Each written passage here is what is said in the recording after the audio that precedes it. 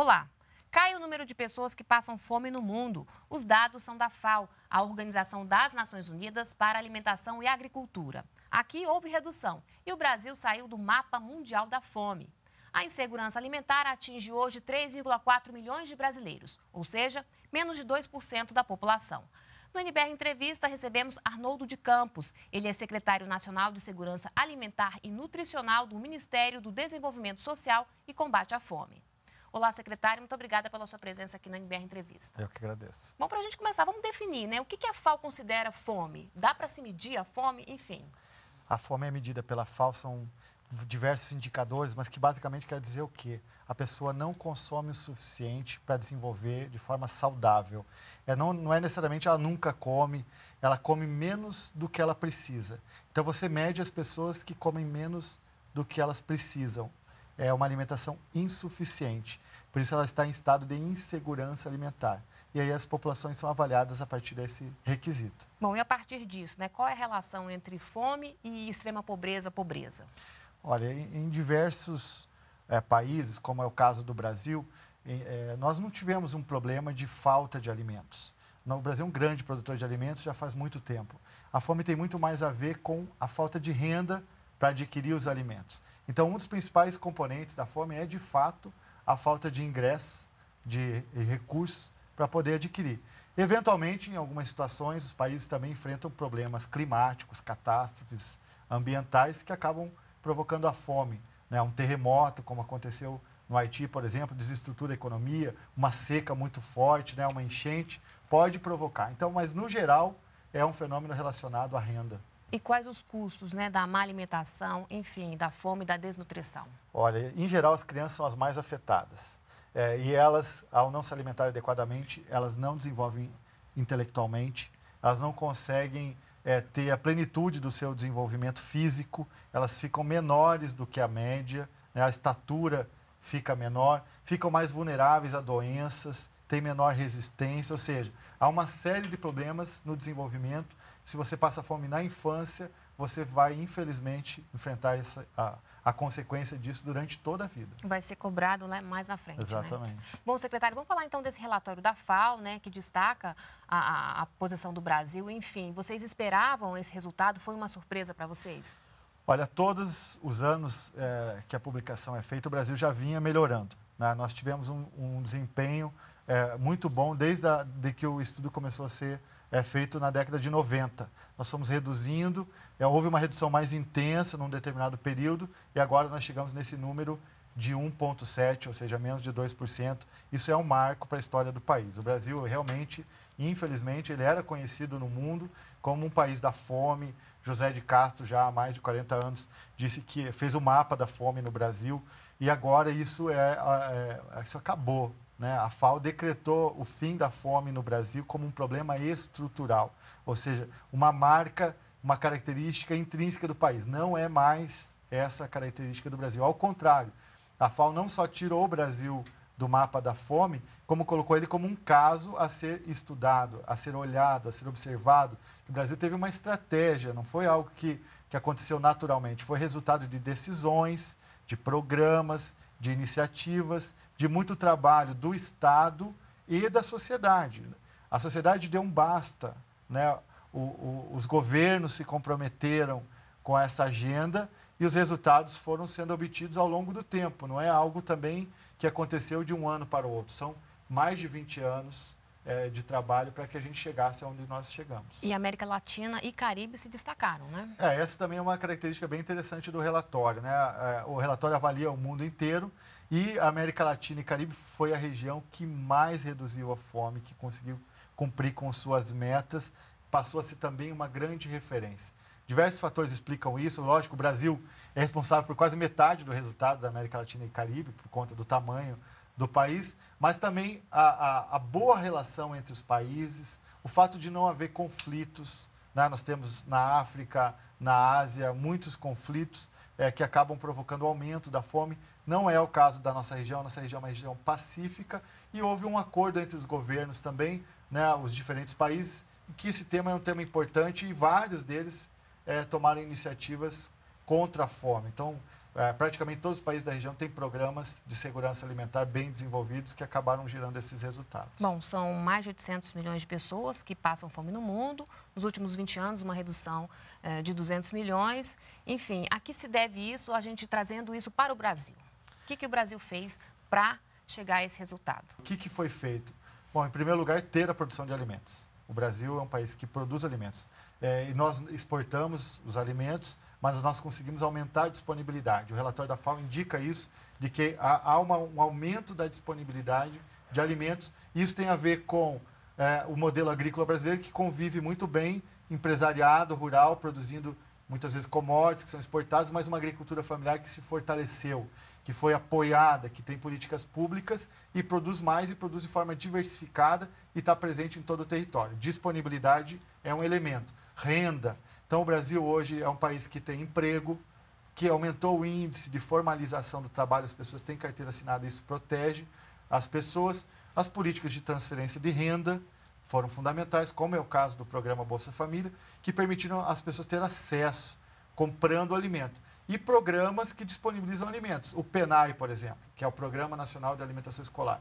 Ele é um programa que atende 43 milhões de estudantes todos os dias com refeições. É uma Argentina inteirinha dentro da escola com um prato de comida sendo oferecido. Isso foi fundamental também, junto com outros programas, como o Programa de Aquisição de Alimentos, que compra produtos da agricultura familiar e abastece equipamentos de assistência social, abrigos, orfanatos, entidades de assistência. E aí você trabalha os dois lados, né? Você tem que trabalhar. É, outra destaque do relatório é que o Brasil fez uma estratégia intersetorial. Ou seja, não é um ministério, um, um governo, um, um município, não. É uma união de diversas áreas com um planejamento e uma gestão organizada. Então, é, o Brasil, por exemplo, tem uma Câmara Interministerial de Segurança Alimentar e Nutricional.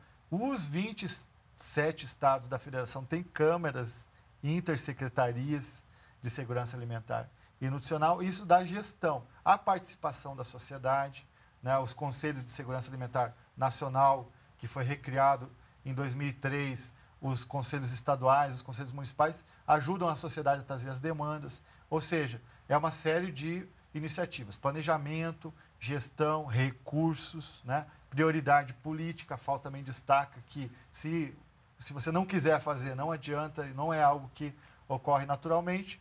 E, ou seja, é, um país ele precisa organizar uma estratégia. E o Brasil, assim como diversos países no mundo, não é só o Brasil, evidentemente, o Brasil ganhou um destaque pelos resultados que, que alcançou, mas os países que alcançaram resultados importantes tiveram estratégias e decisão política de fazer. Agora, esse modelo adotado no Brasil, ele pode ser utilizado em outras realidades, enfim, em outros países, semelhantes às situações do Brasil ou até diferentes? O relatório também diz isso que o Brasil é um bom caso para ser estudado, é um bom caso para uma cooperação técnica e nós estamos fazendo. O Brasil recebe dezenas de delegações internacionais aqui da América Latina, do Mercosul, da África, da Ásia, até mesmo da Europa, é, os países nos visitam para entender como que é o apoio à agricultura familiar, porque quase todo mundo tem agricultura familiar. Como fazer política de crédito, assistência técnica, de, as compras governamentais chamam muita atenção, né? As compras da agricultura familiar, o programa de aquisição de alimentos, ou seja, a, a, os mecanismos de participação e gestão, né? os conselhos, as câmaras.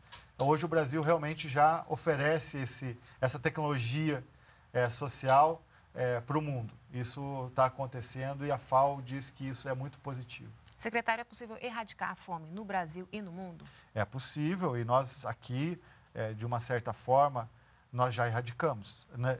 O fato de dizer que erradicou não, não, quer dizer que ninguém passe fome. Quando a gente fala que um país está é, com pleno emprego, é, ele é medido com, com base em um índice dizem que tem pleno emprego o país que está com um índice de, de, desemprego menor ou igual a 5%.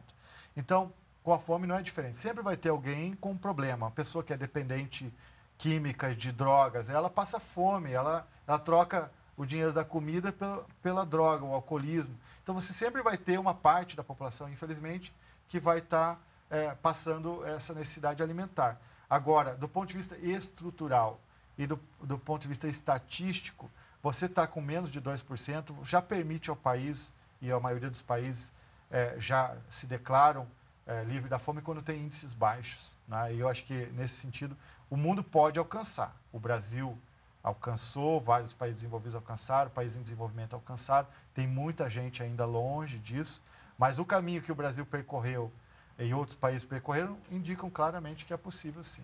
Em relação às metas do milênio, o Brasil então já fez o seu dever de casa. É, o, o, a meta do milênio dizia que o Brasil tinha que reduzir a fome à metade até o ano que vem. E nós já reduzimos é, bem mais da metade. O nosso, nosso índice, por exemplo, em 1990, é, era de 15%.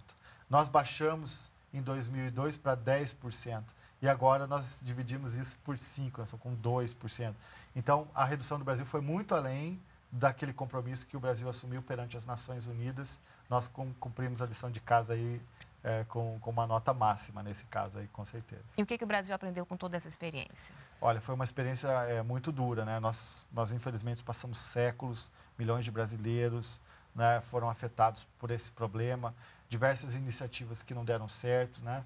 Ah, e nós aprendemos que esse não pode ser um assunto tratado por uma corrente, por um grupo, por um, por um partido, por um governo. Ele tem que ser uma decisão da sociedade. Se a sociedade não abraçar isso, se os governos nos diferentes níveis e ao longo do tempo não se comprometerem, você não tem como resolver. Então, o aprendizado do Brasil é que isso é uma luta contínua. Então, nós recebemos a, a, avanços, o, o, os governos atuais permaneceram e os futuros têm que continuar com essa agenda. É isso que faz com que a estrutura vá se alterando, porque são ações de médio e longo prazo que produzem resultados nessa área. Eu acho que o aprendizado do Brasil é tem que persistir, tem que continuar, tem que ir aperfeiçoando as políticas públicas e tem que ter participação da sociedade. Acho que essa fórmula nós aprendemos e hoje a gente está exportando esse modelo para outros países. Esse resultado, enfim, esse avanço prepara o Brasil para novos desafios? Sem dúvida. O fato de reduzir não significa que a gente não deva continuar tratando. Nós temos ainda 1,7% da população, 3,4 milhões de pessoas, então a busca ativa. Nós temos que encontrar aqueles que ainda têm o problema e tentar é, trazê-los para as políticas públicas. E novos problemas.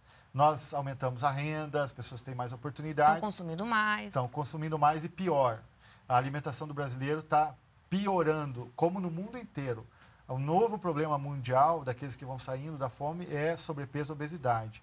Metade da população adulta tem sobrepeso ou obesidade. 30% das crianças têm sobrepeso ou obesidade. Então, alimentos com alto teor de açúcar, alto teor de sódio, alto teor de gordura, ultraprocessados. Então, como é, inverter é, essa, essa tendência, se nós continuarmos assim, nós vamos alcançar os Estados Unidos, que é o país que tem a pior epidemia de sobrepeso, obesidade, é, problema de qualidade de vida, as pessoas não conseguem se locomover, não conseguem praticar esportes, tem problemas de saúde. Nós estamos indo nessa direção, precisamos enfrentar esse problema e já estamos com essa agenda em andamento. Tá certo, então, secretário, muito obrigada pela sua participação aqui no NBR Entrevista. Eu que agradeço, ficamos à disposição. Obrigada mais uma vez. Outras informações, então, no site do MDS. E para rever essa entrevista, é só acessar o endereço que aparece agora aí na sua tela. Muito obrigada pela companhia e a gente se vê no próximo programa. Continue aqui na NBR, a TV do Governo Federal.